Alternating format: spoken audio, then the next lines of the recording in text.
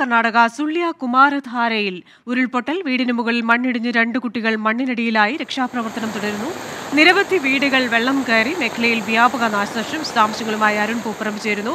അരുൺ ഉരുൾപൊട്ടലിൽ രണ്ട് കുഞ്ഞുങ്ങൾ അടക്കം മണ്ണിനടിയിലായി എന്നറിയുന്നു. രക്ഷാപ്രവർത്തനം തുടരുകയാണോ? എന്താണ് ഏറ്റവും പുതിയ വിവരങ്ങൾ?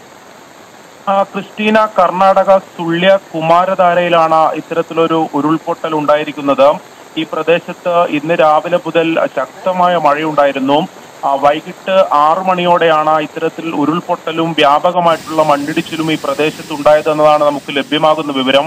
ഈ മണ്ണിടിച്ചിലാണ് ഒരു വീടിന് മുകളിലേക്ക് മണ്ണിടിഞ്ഞു വീഴുകയും അവിടെ രണ്ട് കുട്ടികൾ മണ്ണിനടിയിലാവുകയും ചെയ്തത് എന്നാണ് ഇപ്പോൾ നമുക്ക് ലഭ്യമാകുന്ന വിവരം. എന്തായാലും രണ്ട് കുട്ടികൾ ഇപ്പോഴും മണ്ണിലടിയിലാണ് രക്ഷാപ്രവർത്തനം ഇപ്പോഴും തുടരുകയാണ്. അഗ്നിരക്ഷാ സേനയും നാട്ടുകാരും ഉൾപ്പെടെയുള്ളവർ അവിടെ ഈ ആ, യന്ത്രം ഉൾപ്പെടെ ഉപയോഗിച്ചുകൊണ്ട് ഈ കുട്ടികളെ കണ്ടെത്തുന്നതിന് വേണ്ടിയിട്ടുള്ള രക്ഷാപ്രവർത്തനം ഇപ്പോഴും തുടരുകയാണ്.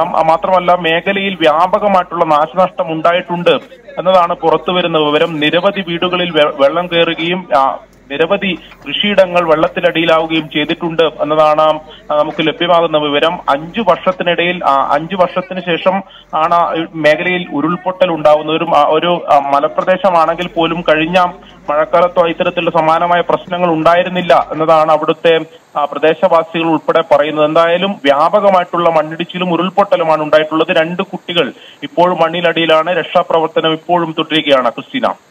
ശരി വിവരങ്ങൾ നൽകുകയായിരുന്നു അരുൺ പൂപ്പറമ്പ.